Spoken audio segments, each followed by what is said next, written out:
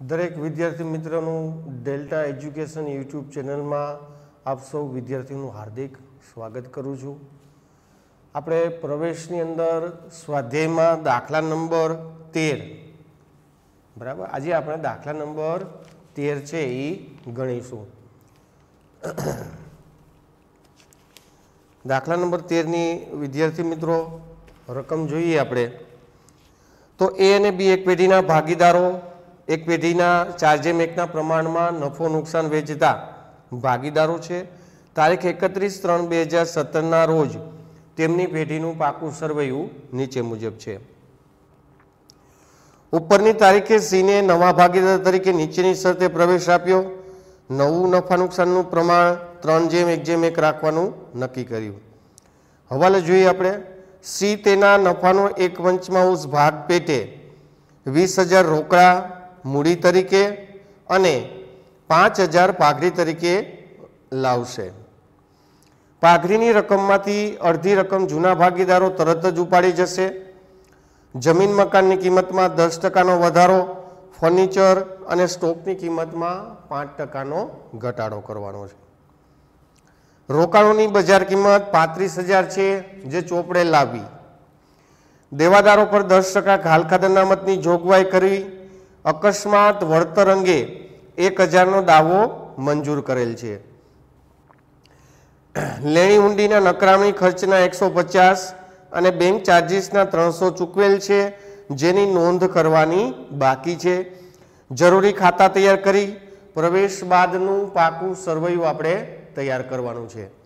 તો અહીંયા ખાતાઓ છે મેં દોરી નાખ્યા છે. સૌ પ્રથમ આપણે જરૂરી ગણતરી છે એ ગણીએ. વિદ્યાર્થી મિત્રો એ અને બી એ અને બીનું જૂનું પ્રમાણ ચાર જેમ એક મને આપેલું છે. તો અહીંયા જરૂરી ગણતરીની અંદર આપણે સૌથી પહેલા નવું પ્રમાણ આપ્યું હોય, ત્યારે આપણે ત્યાગનું પ્રમાણ છે એ મેળવશું. નવું પ્રમાણ એ જેમ બી જેમ સી એ જેમ બી જેમ સી બરાબર. ત્રણ જેમ એક જેમ એક. હવે વિદ્યાર્થી મિત્રો, જૂનું પ્રમાણ અને નવું પ્રમાણ આપ્યું હોય, ત્યારે સૌથી પહેલા આપણે ત્યાગ છે એ મેળવશું. ત્યાગ બરાબર સૂત્ર બનશે. જૂનો ભાગ માઇનસ નવો ભાગ. સૌ પ્રથમ આપણે એનો ત્યાગ છે એ શોધીએ. તો જૂનો ભાગ થશે ચારના છેદમાં પાંચ, નવો ભાગ થશે ત્રણના છેદમાં પાંચ. આનો લસા જે વિદ્યાર્થી મિત્રો પાંચ મળશે, ચારમાંથી ત્રણ બાદ કરીએ આપણે, એટલે મળશે મને એકના છેદમાં પાંચ. હવે આપણે અહીંયા વિદ્યાર્થી મિત્રો, બીનો ત્યાગ છે એ શોધીએ. એકના છેદમાં પાંચ, માઇનસ બીનો નવો ભાગ થશે, એકના છેદમાં પાંચ. અહીંયા પણ લસા આપણને પાંચ મળશે, એક માઇનસ એક એટલે કે જીરો અહીંયા વિદ્યાર્થી મિત્રો, બી છે એ લાભ પણ નથી મેળવતો અને ત્યાગ પણ નથી કરતો. એટલે એનો આપણને શૂન્ય મળ્યો. આગળ જોઈએ વિદ્યાર્થી મિત્રો. સૌ આપણે ખાતાની બાકીઓ. તો અહીંયા સૌથી પહેલા આપણે મૂડી ખાતાની જમા બાજુ બાકી આગળ લાવ્યા. એની બાકી આપી છે પંચોતેર હજાર. બીની બાકી મને આપી છે પચીસ હજાર. હવે, એ જ રીતે ચાલુ ખાતાની જમા બાજુ વિગતમાં લખશું આપણે. બાકી આગળ લાવ્યા આઠ હજાર અને બે હજાર. રોકડ બેંક ખાતાની બાકી આપણને આપી છે ત્રણ હજાર. બાકી આગળ લાવ્યા ત્રણ હજાર. હવે હવાલા જોઈએ આપણે. સી તેના નફાનો એક પંચમાંશ ભાગ પેટે વીસ હજાર રોકડા મૂડી તરીકે. હવે સી છે એ વીસ હજારથી રોકડા લાવે છે. તો અહીંયા વિદ્યાર્થી મિત્રો આપણે આમ નોંધ લખવી હોય.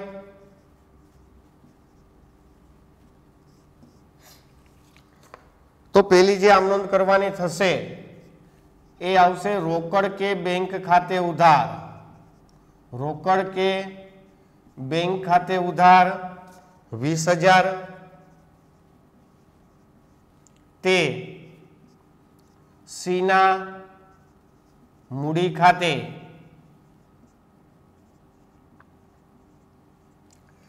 રોકડ બેંક ખાતાની ઉધાર બાજુ વિગતમાં લખશું આપણે સીના મૂડી ખાતે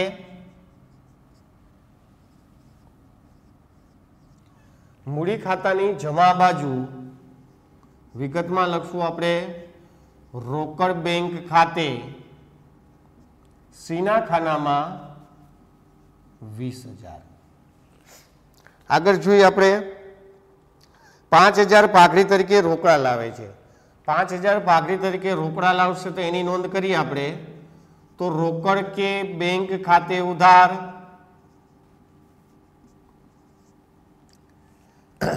પાંચ હજાર. તે પાઘડીના પ્રીમિયમ ખાતે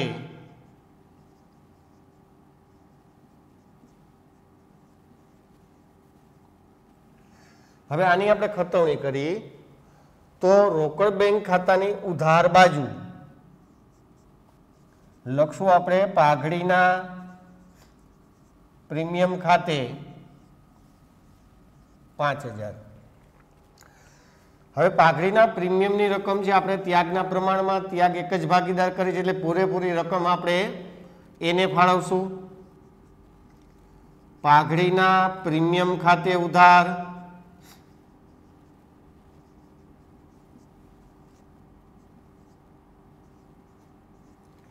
તે એના ચાલુ ખાતે. અહીંયા આપણે રકમ છે એ ચાલુ ખાતે વિદ્યાર્થી મિત્રો ફાળવવાની થશે, કેમ કે આપણને ચાલુ ખાતાની બાકી આપેલી છે. તો ચાલુ ખાતાની જમા બાજુ વિગતમાં લખશું આપણે પાઘડીના પ્રીમિયમ ખાતે.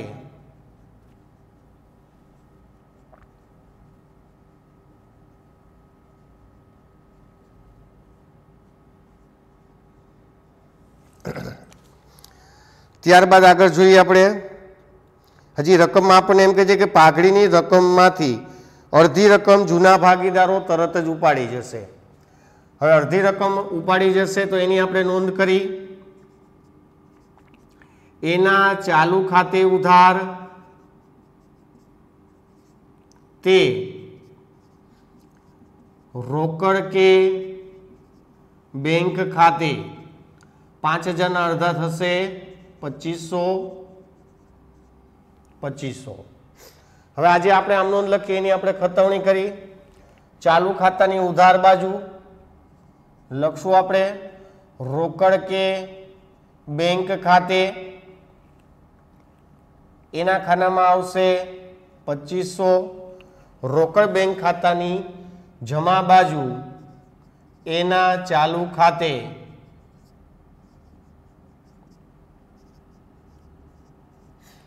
પચીસો.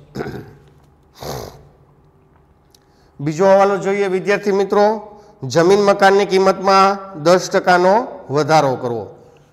તો અહીંયા જમીન મકાનની કિંમત. આપણને આપી છે પાંત્રીસ હજાર.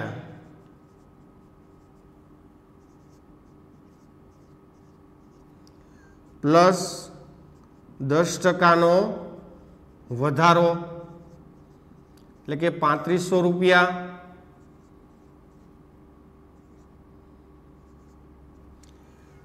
વધારા બાદની કિંમત આડત્રીસ પાંચસો થશે. પહેલી અસર આપણે ઉધારમાં પ્લસ કરીએ એટલે ઉધાર અસર આપી. બીજી અસર આવશે પુનઃમૂલ્યાંકન ખાતાની જમા બાજુ. વિગતમાં લખશું આપણે જમીન, મકાન ખાતે. પાંત્રીસો. આગળ જોઈએ આપણે ફર્નિચર અને સ્ટોકની કિંમતમાં પાંચ ટકાનો ઘટાડો કરવાનો છે. ફર્નિચરની વિદ્યાર્થી મિત્રો બાકી મને આપેલી છે રકમમાં ત્રીસ હજાર. ઘટાડો છે એટલે બાદ થશે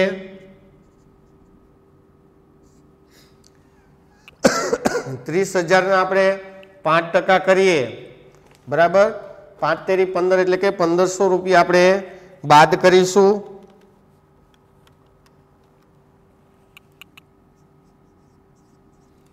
પંદરસો બાદ કરતા મને મળશે અઠ્યાવીસ હજાર પાંચસો. હવે આપણે ઉધારમાંથી બાદ કરીએ. ઉધારમાંથી બાદ કરી એટલે પહેલી અસર છે આપણે જમા આપી, તો બીજી અસર આપણે અહીંયા ઉધાર આપીશું. ફર્નિચર ખાતે એક હજાર પાંચસો. ત્યારબાદ સ્ટોકની કિંમતમાં પણ પાંચ ટકાનો ઘટાડો કરવાનો છે. સ્ટોક આપેલો છે મને પચીસ હજાર. સ્ટોકની કિંમત પચીસ હજાર આપેલી છે. બાદ પાંચ ટકા ઘટાડો પચીસ હજારના પાંચ ટકા કરીએ, એટલે એક હજાર બસો ને પચાસ. ઘટાડા બાદની કિંમત મળશે ત્રેવીસ હજાર સાતસો ને પચાસ. ઉધારમાંથી બાદ કરીએ એટલે પહેલી અસર જે જમા આપી, બીજી અસર આપણે ઉધાર આપશું, સ્ટોક ખાતે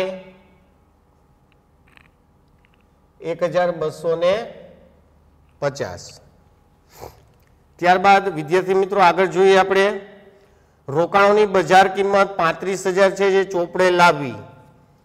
રોકાણો પચીસ હજારના આપેલા છે. રોકાણો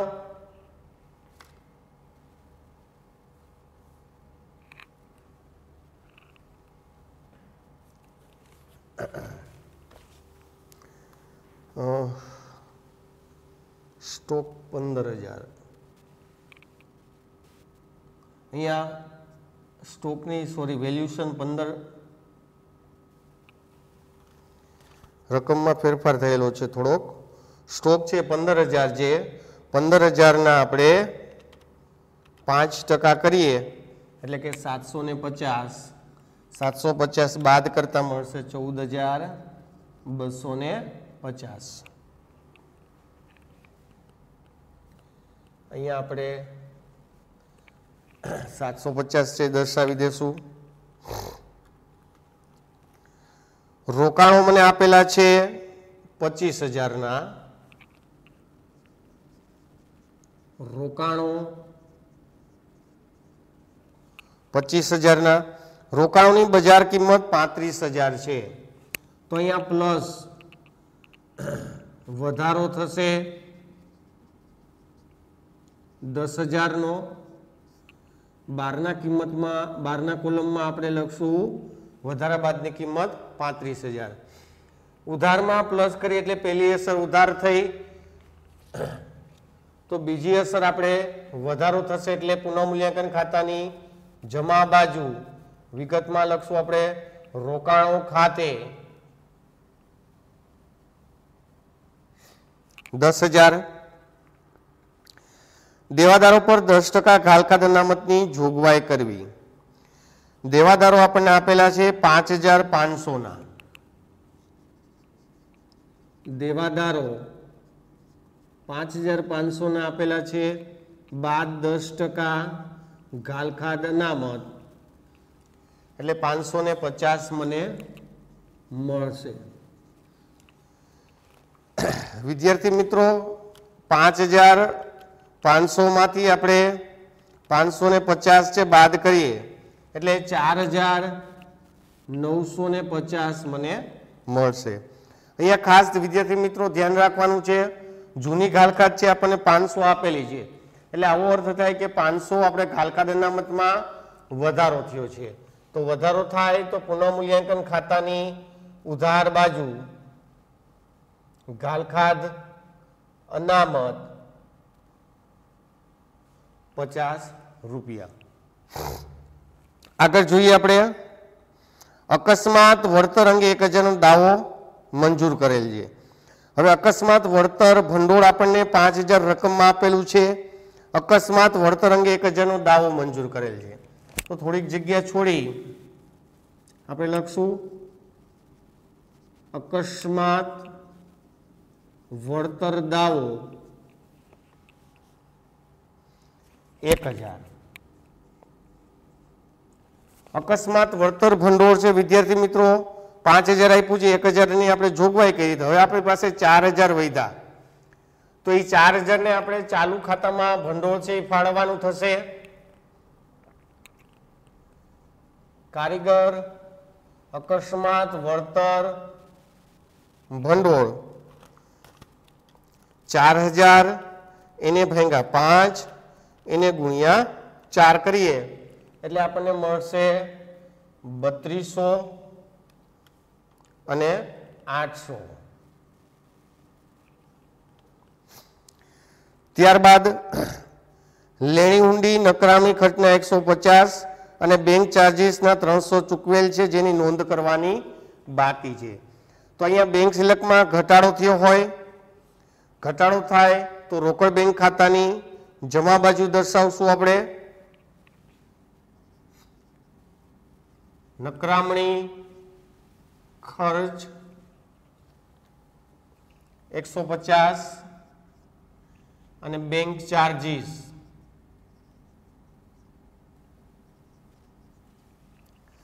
બેંક ચાર્જીસ ત્રણસો. એની બીજી અસર આવશે પુનઃમૂલ્યાંકન ખાતાની ઉધાર બાજુ.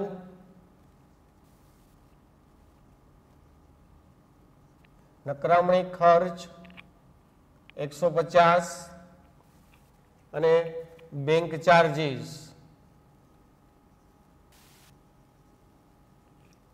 ત્રણસો.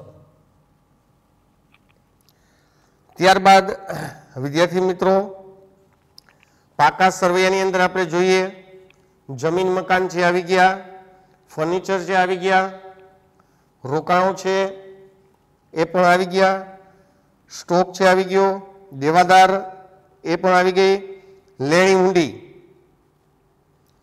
લેણી ઊંડી બે હજાર છે એ લખીશું આપણે.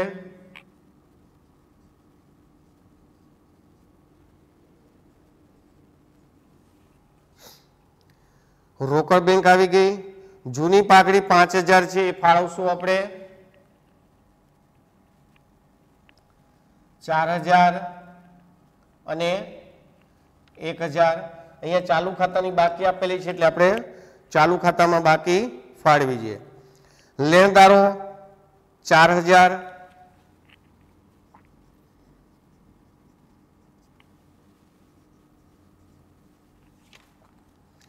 દેવી હુંડી એક હજાર.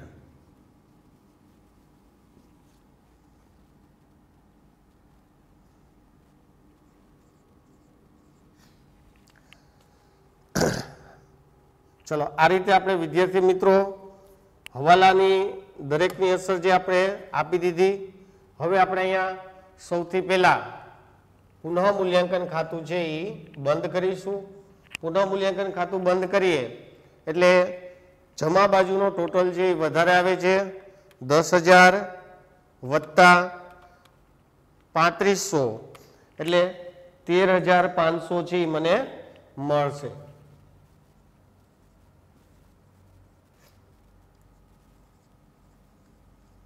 તેર હજાર પાંચસોમાંથી બાદ કરીશું આપણે પંદરસો, સાતસો ને પચાસ પચાસ એકસો પચાસ, ત્રણસો. એટલે બાદ કરતા મને મળશે રકમ દસ હજાર સાતસો ને પચાસ. આ દસ હજાર સાતસો ને પચાસ જે મળી, આ જે નફો છે, એ આપણે ચાર જેમ એકના પ્રમાણમાં એ અને બીને ફાળવશું. દસ હજાર સાતસો પચાસ, એને ભાગ્યા પાંચ એને ગુણ્યા ચાર કરીએ, એટલે આઠ હજાર છસો અને બે હજાર એકસો ને પચાસ મને મળશે. આ જે નફો છે, એ ચાલુ ખાતાની જમા બાજુ વિગતમાં લખશું આપણે. પુનઃ મૂલ્યાંકન ખાતે આઠ હજાર છસો અને બે હજાર એકસો ને પચાસ. હવે અહીંયા વિદ્યાર્થી મિત્રો, મૂડી ખાતું છે આપણે બંધ કરીશું. મૂડી ખાતું બંધ કરીએ એટલે વીસ હજાર.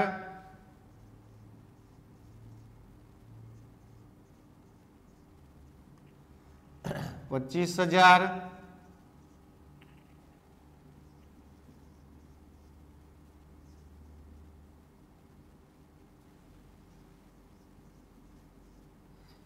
અને પંચોતેર હજાર.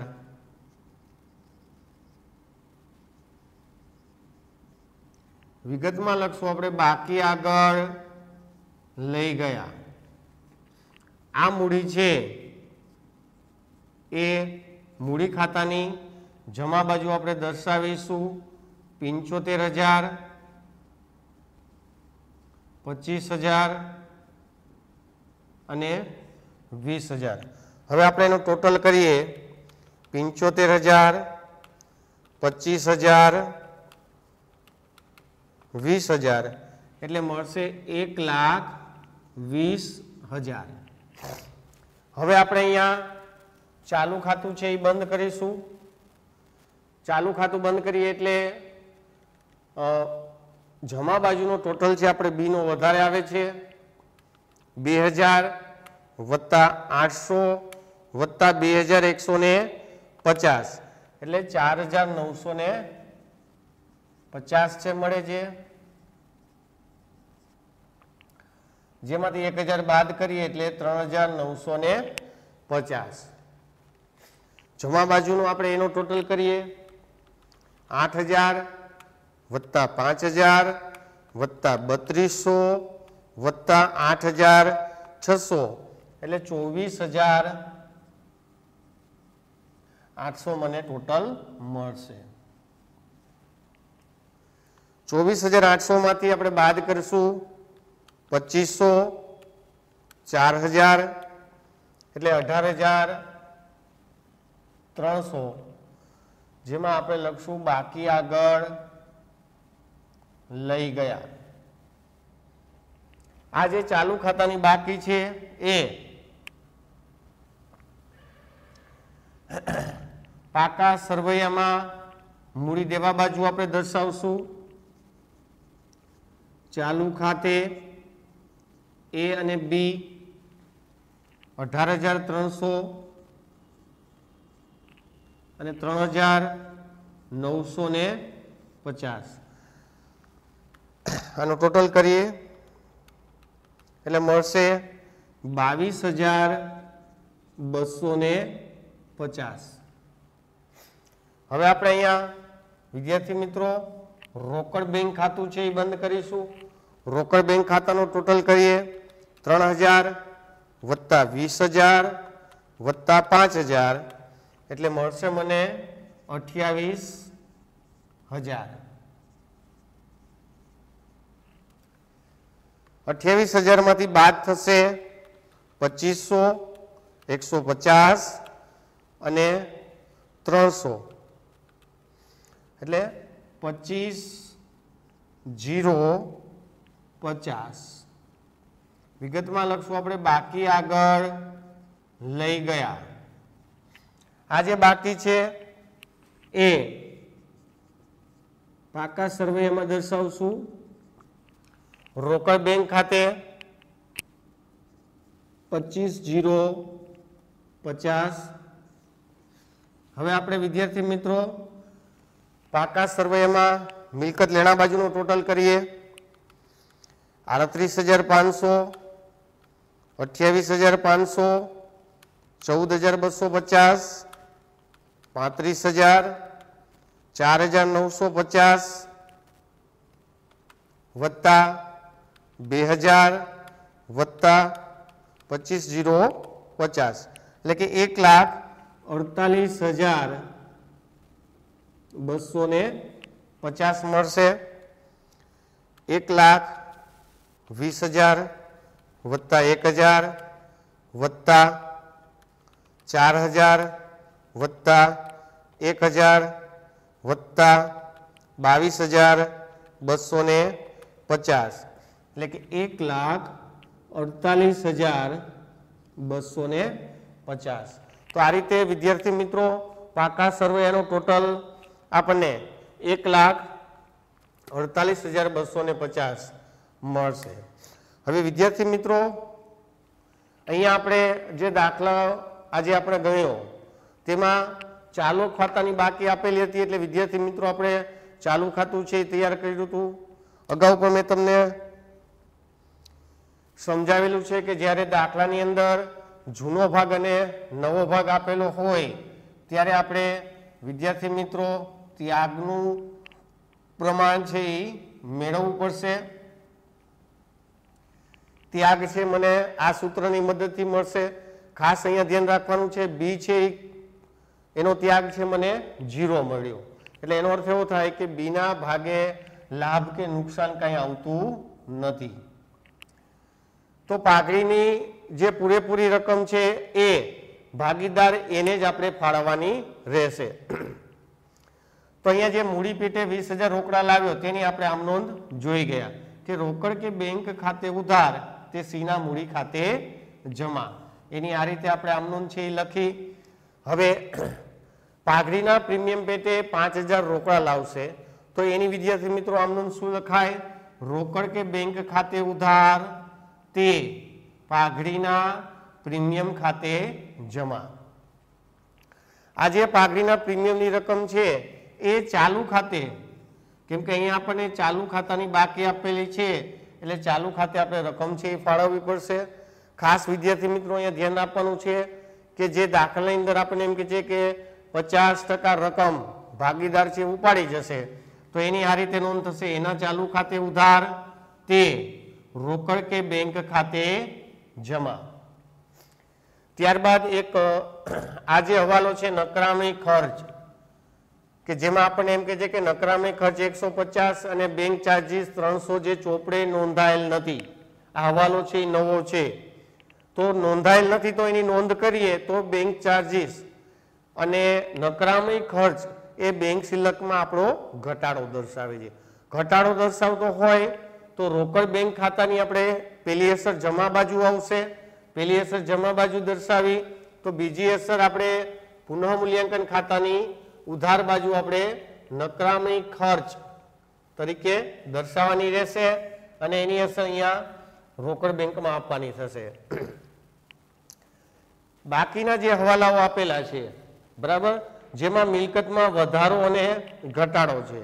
તો મિલકતમાં વધારો થતો હોય તો તેની અસર આપણે પુનઃમૂલ્યાંકન ખાતાની જમા બાજુ અસર આપીએ છીએ અને મિલકતમાં ઘટાડો થતો હોય તો તેની અસર આપણે પુનઃમૂલ્યાંકન ખાતાની ઉધાર બાજુ આપણે દર્શાવી હતી. ત્યારબાદ દેવાદારોમાં હાલખાત અનામતમાં પાંચસોનો વધારો થાય છે. અહીંયા ખાસ વિદ્યાર્થી મિત્રો, હું દરેક દાખલામાં કહું છું કે ઘણા બધા વિદ્યાર્થીઓ છે આ હવાલાની અંદર વારંવાર છે, ભૂલ કરતા હોય છે. કે જ્યારે દાખલાની અંદર ઘાલખાત અનામતમાં વધારો થાય ઘાલખાત અનામતમાં વધારો થાય, ત્યારે તેની અસર પુનઃ મૂલ્યાંકન ખાતાની ઉધાર બાજુ આપશું અને ઘટાડો થાય તો જમા બાજુ. ખાસ આ નોંધ જે યાદ રાખવાની છે દરેક વિદ્યાર્થી મિત્રોએ, કે ઘાલખાદ અનામતમાં વધારો થાય ત્યારે પુનઃ મૂલ્યાંકન